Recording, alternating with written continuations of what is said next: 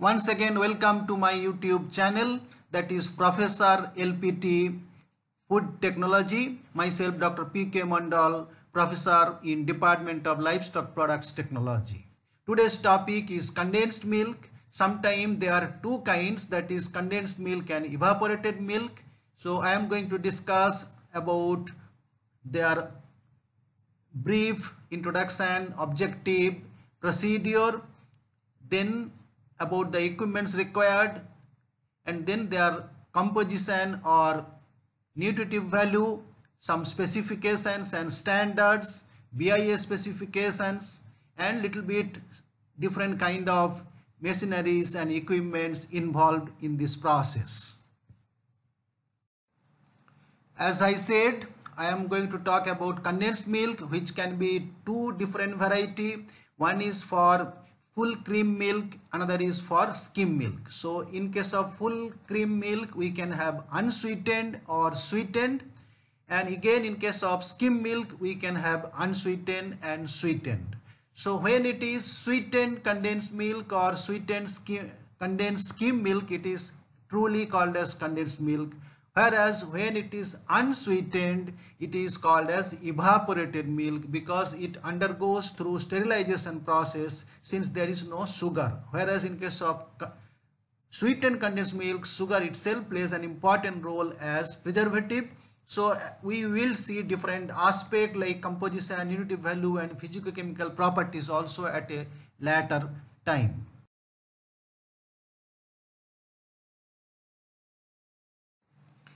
Here let us see the definition.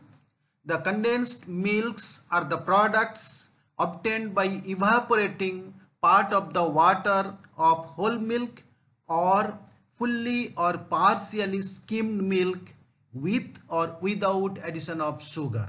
As I mentioned earlier, it could be full cream milk or skimmed milk. It could be with sugar or without sugar. The ratio of concentration of milk solids is about 1 is to 2.5 for full cream milk. That is 2.5 liter of milk will be reduced to 1 liter. Or it can be 1 is to 3 for sweetened condensed skim milk. That is in case of skim milk the 3 liter will be reduced to 1 liter. As I said earlier the condensed milk can be full cream sweetened condensed milk or it is called evaporated milk when it is full cream unsweetened condensed milk Similarly, in case of skim milk also, there is sweetened condensed milk and there is unsweetened condensed skim milk which is actually to be called as evaporated milk. Here let us see the objective and principle. The objective is to enhance the shelf life, to decrease the volume that is sometime we may have large amount of excess milk which is very difficult to store. So by making condensed milk we can reduce the volume and also increase the shelf life. And it will have better suitability for some kind of products to prepare. The principle here is evaporating part of water under vacuum. So some kind of special evaporator is used for removing the water very fast which we are going to discuss in details later and enhancing shelf life it is by addition of sugar. A large amount of sugar is added which plays an important role for preservation and also heat treatment. In case of sugar added heat treatment is less. But when sugar is not added heat treatment is very severe and it is like sterilization. So another basic thing is here saving in cost of packaging and storage and transport. Since the volume is reduced by two or three times, so the packaging, storage and transport becomes convenient. In the right side, I can see the we can see the flow chart. Of course, we are going to see it in more details later. The basic steps are reception, testing, standardization, preheating and pasteurization, then partial chilling, and then it goes for actual evaporation, and finally homogenization and cooling. So we will see it later again. Once again, let us see the basic principle in making of condensed milk. The basic principle in the production of condensed and evaporated milks is that high quality milk is filtered or clarified, then standardized, preheated and pasteurized, then condensed or evaporated to the desired level. the concentrated products is preserved by the addition of sugar for condensed milk and by heat sterilization for evaporated milk. So this is the basic principle for making the condensed milk products. Principles of evaporation. Here basically two things are required. One, one is necessary heat must be supplied. Another is removal of vapor. So when, when heat is supplied, the vapor will come out from the milk as there is mostly water and then that vapor should be removed. So there are three principal elements in evaporator. One is heat transfer, sometimes called as calandria. Another is vapor fluid separation. That is to separate the vapor from the liquid and that is done by bodies. And the third thing is energy utilization. So here the vapor is used as the heating medium. So we must use this steam in a most economical way to reduce the cost of production or proper economic utilization of energy. Here we will see types of evaporator.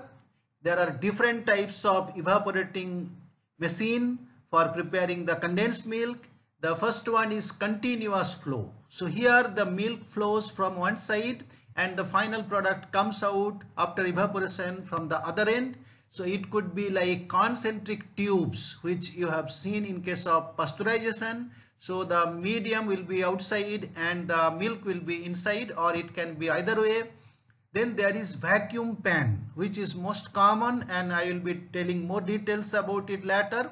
Then horizontal tubes that is not so common. Then there is vertical tube then there is a falling film machine which is um, little more details of all these three I am going to show at the end of this lecture. Then there is plate evaporator.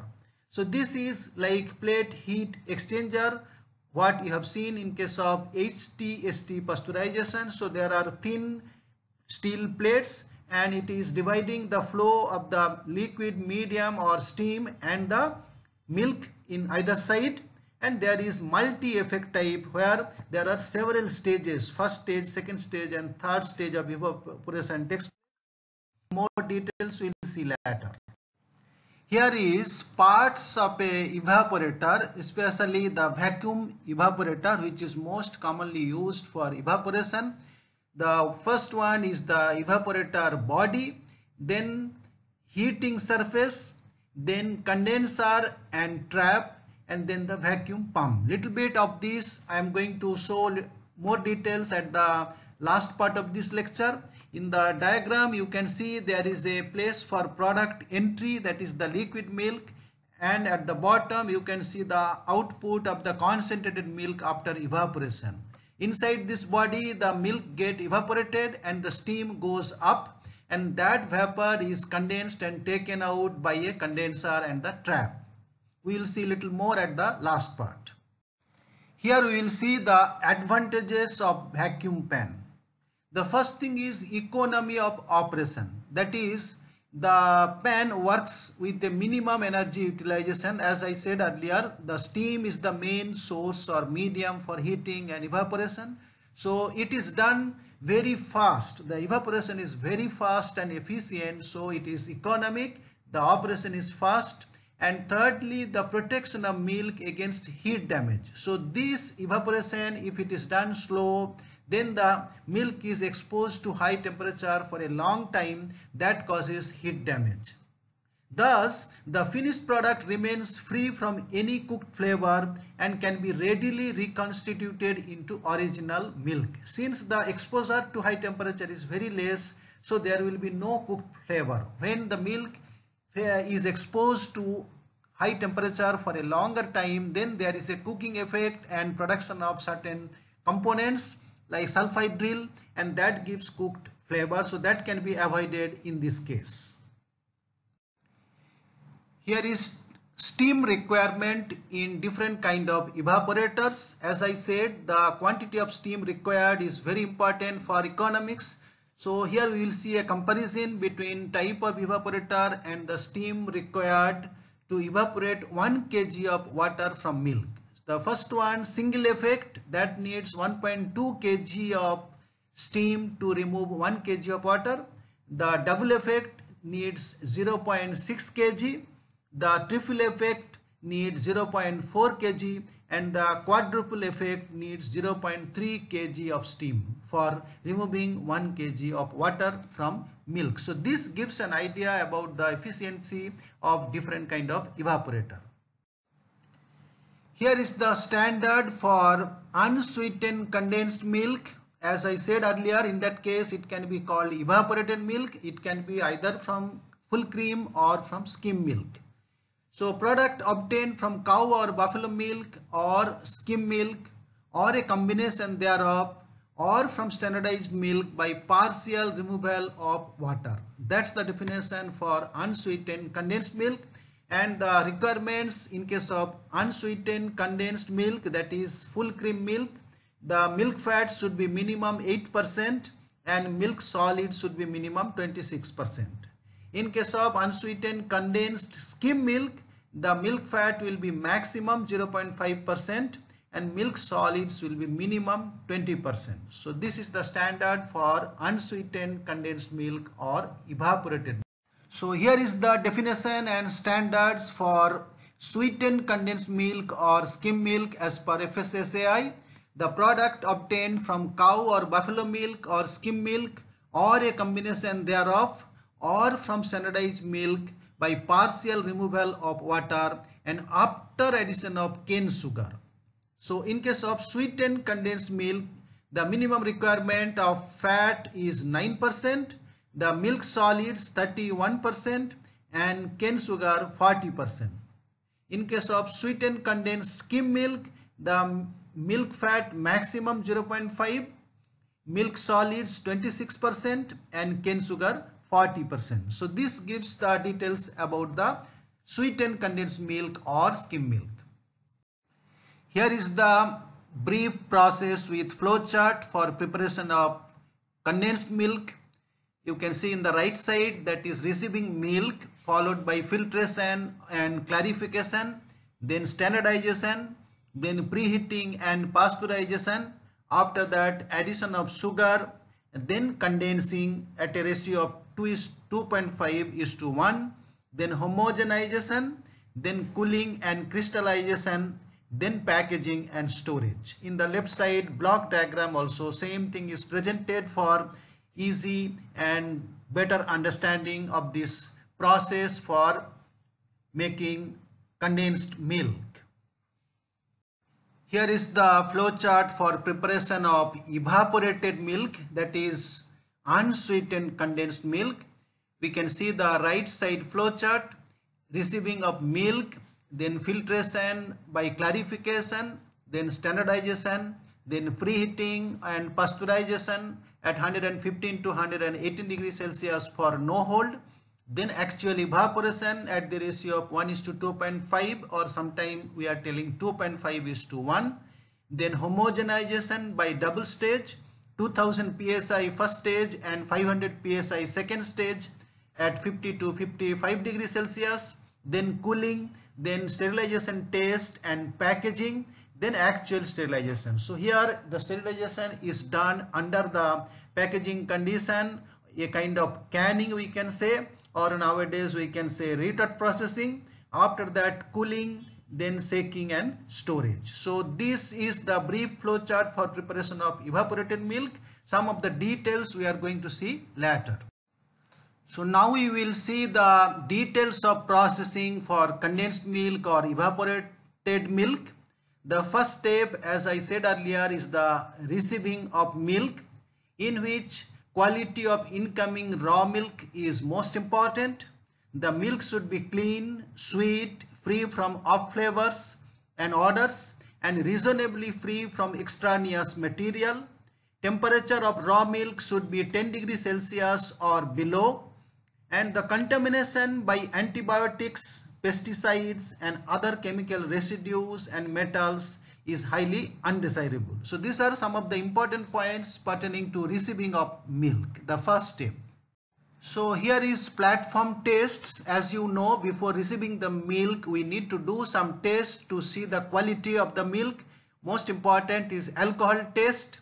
It detects the tendency of milk to curdle during sterilization or heat treatment. So if there is some acidity in this test, there will be curdling with alcohol and the another common test is clot on boiling. That is if we boil the milk whether it clots. So this is to determine its acceptance for condensing because this milk has to go through uh, severe heat treatment. So these two tests are commonly done before receiving the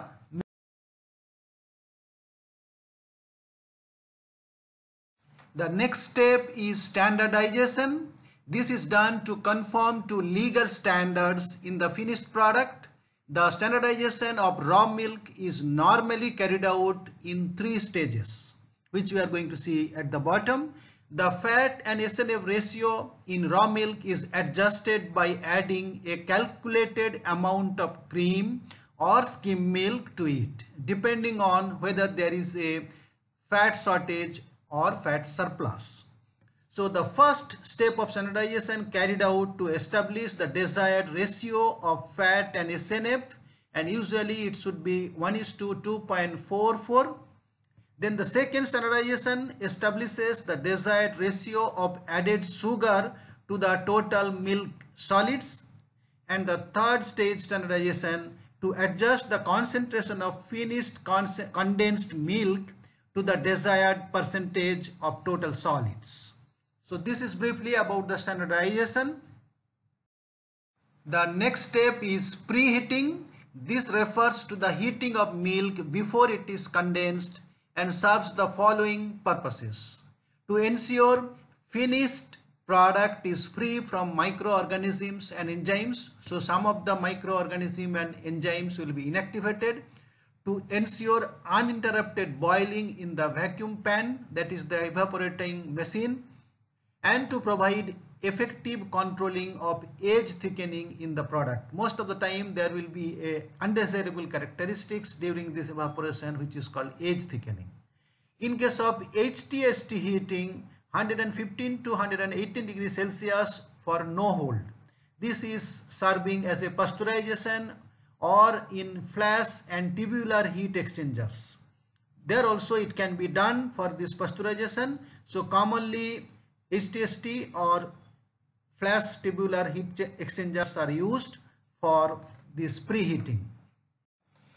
Now condensing, this is to be done after the preheating.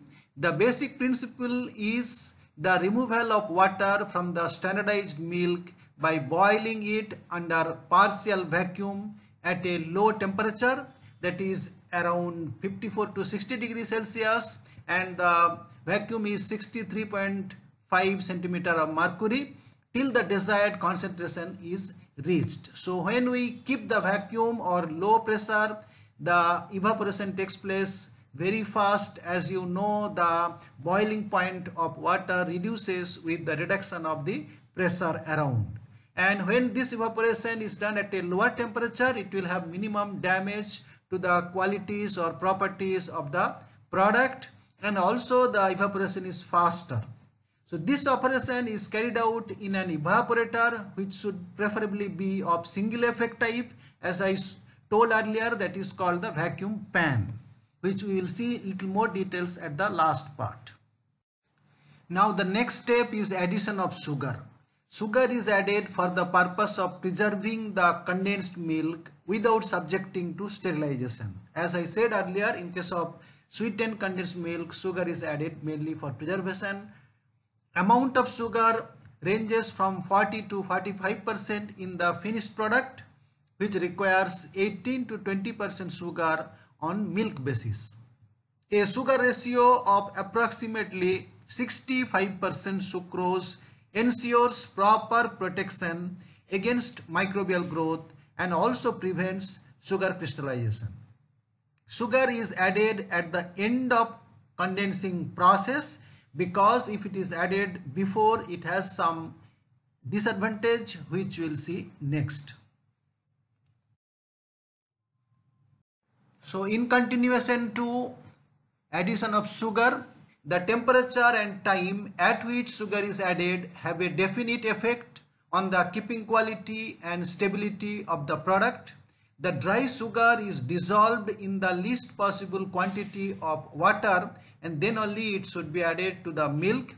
The addition of sugar before condensing increase viscosity and difficulty in evaporation. So if we add the sugar before condensing there is a disadvantage as I mentioned earlier and also sugar added during preheating increases the heat resistance of microorganisms and help them to survive and thereby adversely affect the keeping quality. Therefore, the sugar should be added at the latter stage after the condensing is done. Now the next stage is homogenization which is to make the uniformity as you have seen in case of milk also. So hot condensed milk is homogenized to obtain a uniform fat emulsion and reduce fat separation to a minimum during storage. So this is done by passing through a machine where the milk is forced to pass through a very narrow aperture with high pressure and that breaks all kind of bigger particles or fat globules and that get distributed uniformly. There are two kind of homogenization, single stage or double stage as we have learned earlier. A double stage homogenizer is used in this case. The first stage is 2000 psi pressure and in the second stage 500 psi which is similar in case of milk pasteurization also. So now this is the final stage that is cooling and crystallization and followed by packing. At the end of evaporation, the sweetened concentrate is supersaturated with lactose which tends to crystallize at ambient temperature. When the size of lactose crystals are more than 10 micron, they can create a gritty texture and which we call sandiness and that is undesirable and also they try to settle down or create a sediment. The formation of large lactose crystals is prevented by rapid cooling to 30 to 40 degrees Celsius. So this sandiness can be avoided by rapid cooling and also by inducing crystallization under vigorous agitation after seeding with tiny lactose crystals. Then the product is taken for packaging either in cans or any other technique. Now we have learned the different steps in little bit details about the processing of condensed milk. Here we will see the role of milk constituents in condensed milk. The first is milk fat. It imparts rich and pleasing flavor, soft body and smooth texture to both condensed and evaporated milk. The fat also affects the viscosity and it plays a significant role in flavor problems like rancidity or tallowiness. Then about the milk proteins, their physicochemical reactions to heat processing largely determine the heat stability and viscosity of condensed milk. So this is about the role of milk fat and protein. We are going to see the next. So in continuation, role of milk constituents in condensed milk about the milk sugar. It plays important role in the control of texture of condensed milk. Size of lactose crystals determines the relative smoothness of condensed milk as we have discussed earlier. The larger crystals can make sandiness which is not desirable. So controlled by the procedure used for cooling and crystallization of this product so finally we can reduce the crystal size and prevent the sandiness. Then comes the mineral salts, particularly calcium, magnesium, together with citrates and phosphates control the salt balance and heat stability of milk. A disturbed salt balance causes objectionable heat coagulation of milk. So these are about the role of different constituents in condensed milk. Now we will see the physicochemical properties of condensed milk. The first is density. So density increases because of the increase in the solid content. By the evaporation process, all the water goes, so the solid content increases, so density increases. Then freezing point, it will be going downwards because lot of water has gone so the freezing point will be lower than the milk then viscosity due to the higher concentration of all solids so viscosity will be increased then color and flavor also increased because of the evaporation and concentration of solids so the color pigment like carotene will be in very high concentration so it will be more darker yellowish in color and flavor also increased due to the higher concentration of fats and other ingredients or protein and the pH also will decrease due to this processing. In continuation to physicochemical properties, all types of condensed milk may contain calcium chloride, citric acid and sodium citrate, sodium salts of orthophosphoric acid and polyphosphoric acid not exceeding 0.3% of the finished products. The sweetened condensed milk and sweetened condensed skim milk may contain added, added refined lactose required during the process of lactose crystallization. As I have mentioned, to reduce the size of lactose crystal, some amount of fine crystals are used as seeding. So naturally the lactose content may slightly increase. Now about the nutritive value. So we can understand easily that nutritive value will be very high in such a concentrated milk product. It will be rich in milk fat and fat soluble vitamins because the fat content increased very highly. Then the proteins. So because of the removal of water, the protein content also will be increased highly. Then minerals also will increase and as I said lactose content also will increase. So little bit more specific about the these nutrients, minerals, etc. we are going to see in the next table. So here we can see the details composition of condensed milk or evaporated milk. In case of condensed milk and condensed skim milk, you can see the water content is less that is 26 and 29 whereas it is more in case of evaporated milk because there is no sugar added especially evaporated skim milk where the fat is missing. Then the total solid will be around 74 and 71 in case of condensed milk whereas in case of evaporated milk it is less that is 31 and 20 so that's why it need to be sterilized. The water content is very high here. Then fat it is 9 in case of condensed milk whereas in case of condensed skim milk 0.5 evaporated milk fat again it is 9 and the evaporated skim milk is 0.5 then SNF content 22 and 25 and here it is 22 and 19.5 the protein 8.3 and 9.3 and the next 8.3 and 7.2 the lactose we can see is little higher 12 and 14 in case of condensed milk skim milk.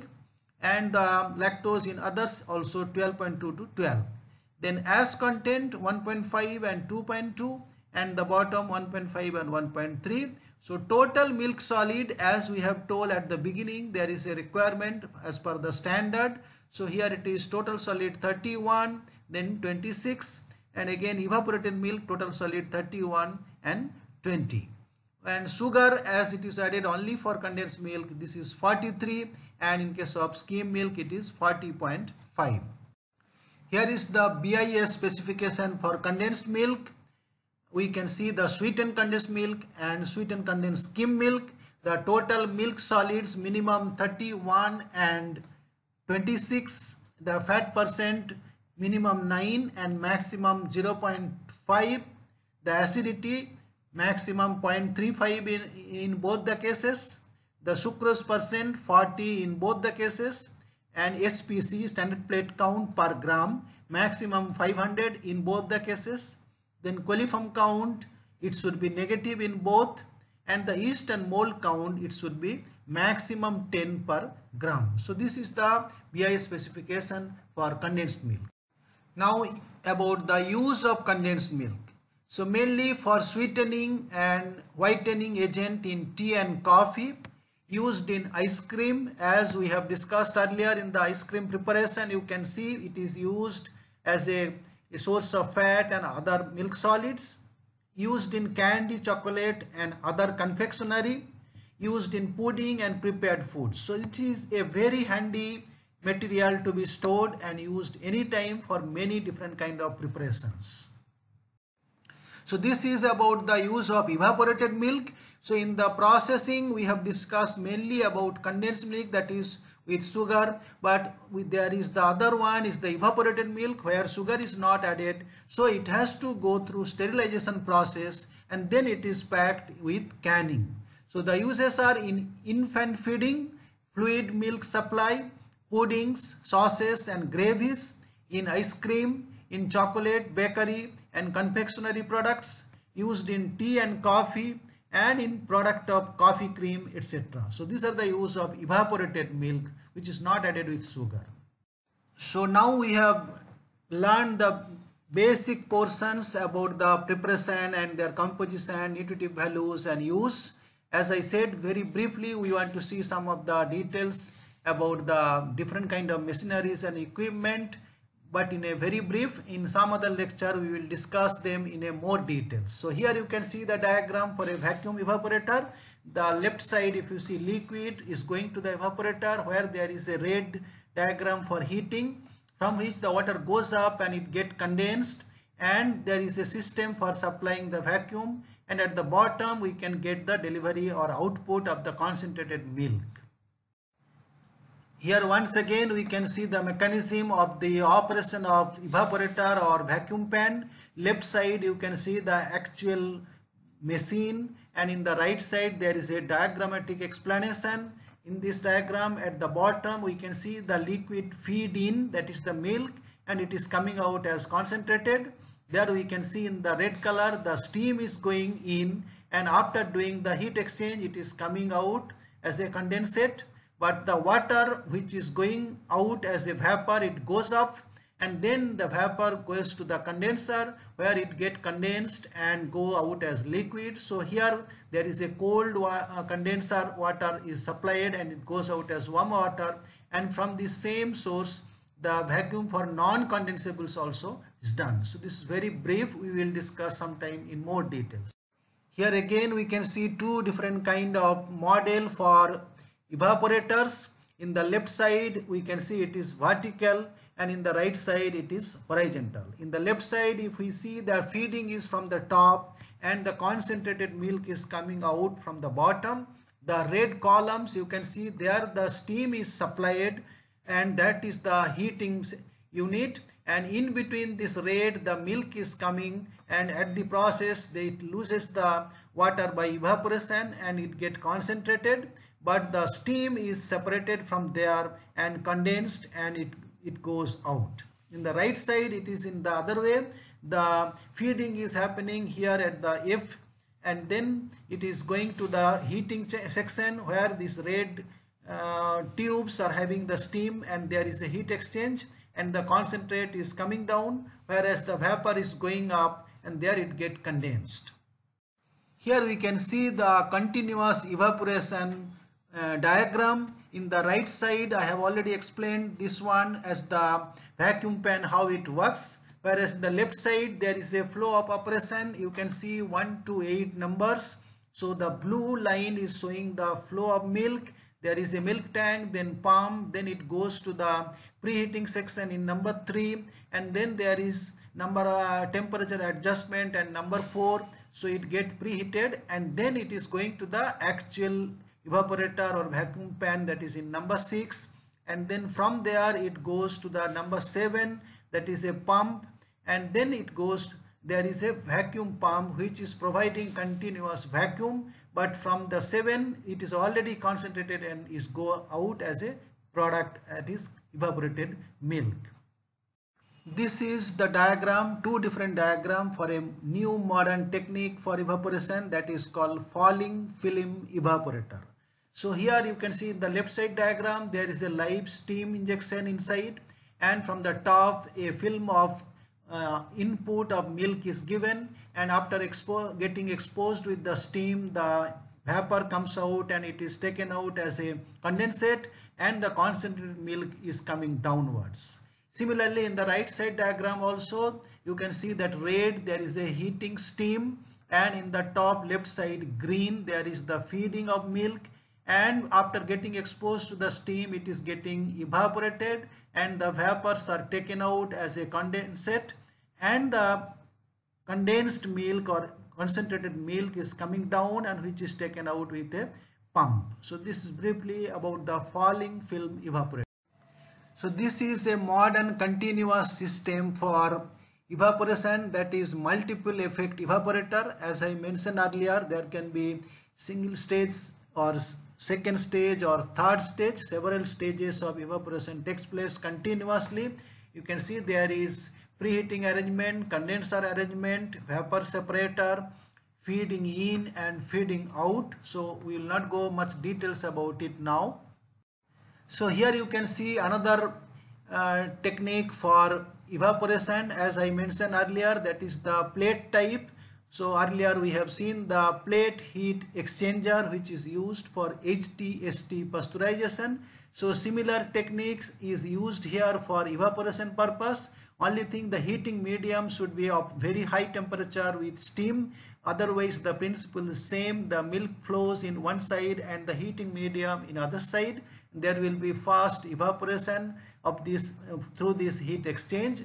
So that's briefly about the plate heat uh, type of evaporator. So now we are at the end of today's lecture. We have discussed about what is the condensed milk, what are the different types, what are their composition, what are different kind of standards, and what is the principle of evaporation, what is the details of procedure for condensed milk or evaporated milk, and their packaging and their composition, nutrients, utilization, and at the end briefly I have shown different kind of evaporators and their principles of operations. So thank you. Thank you for listening. You can learn more details from the notes I will be giving later.